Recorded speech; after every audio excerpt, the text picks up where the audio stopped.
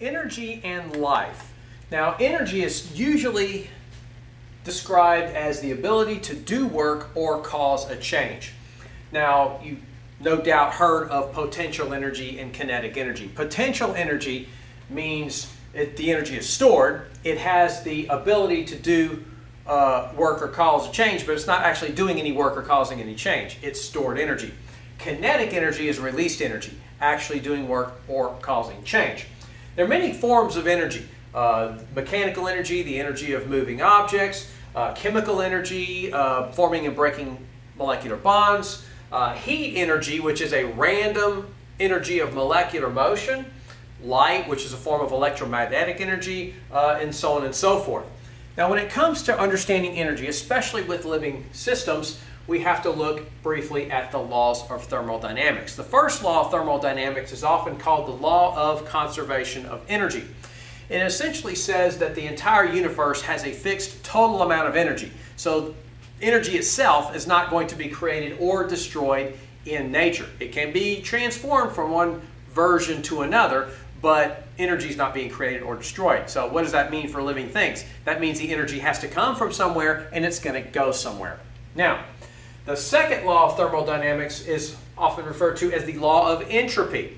Now, this has to do with energy conversions. Energy conversions are never 100% efficient. You're going to lose energy with every energy conversion. That loss is generally as heat. So if we're converting energy from form A to form B, and it doesn't matter what, we're, what the forms are, you're not going to get 100% of the energy from A into B. You're going to lose some of the useful energy as heat in the conversion. So A does not equal B because of the second law. However, A equals B plus heat because of the first law. So entropy, of course, is a word which describes disorder or randomness. Because heat is a random energy, you have more randomness on this side than you do this side.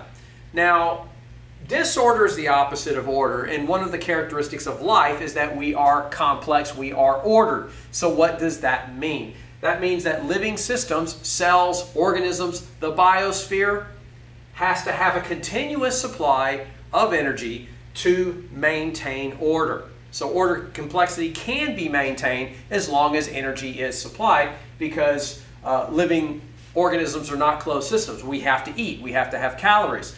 The biosphere has to have sunlight for food webs uh, via uh, productivity and photosynthesis and so forth.